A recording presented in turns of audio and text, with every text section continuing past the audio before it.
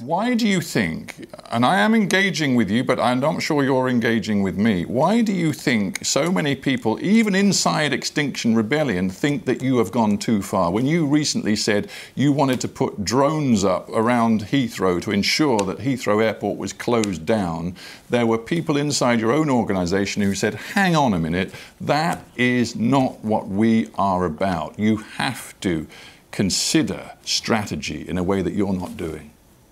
The fact of the matter is, with the aviation industry and the whole carbon economy, all this, all this activity is bringing us to destruction.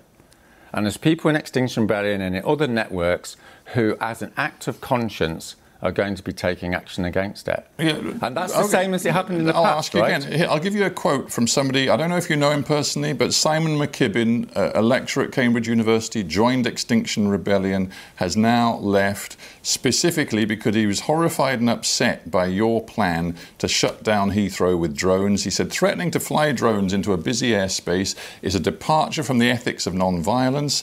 It threatens uh, people, puts people at risk.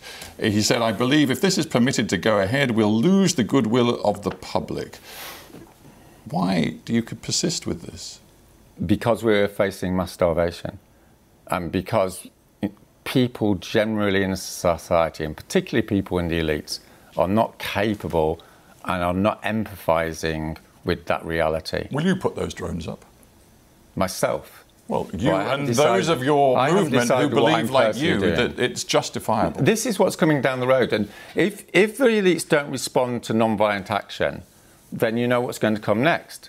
Is people other than Extinction Rebellion will use violence. That's what's coming down the road. I mean, I'm speaking as a sociologist here. I'm not saying it's good or bad. What I'm saying is, if you put a society under a massive, in, in massive amount of stress, if you propose, will you? Will you? Just uh, leave me a minute. Just let me finish well, this. If you let, if you tell the citizens of a country that the government is facilitating their death, then you can expect one thing. Particularly in a country like Britain, where people don't put up with such nonsense, you you can expect rebellion. Will you? Just answer the question Will you try to close down Heathrow Airport with drones? It hasn't been decided, and I don't want to talk about specific things because that's not up to me. Right? That's up to the people that are engaged in it. What I can say to you is this is what's coming down the line.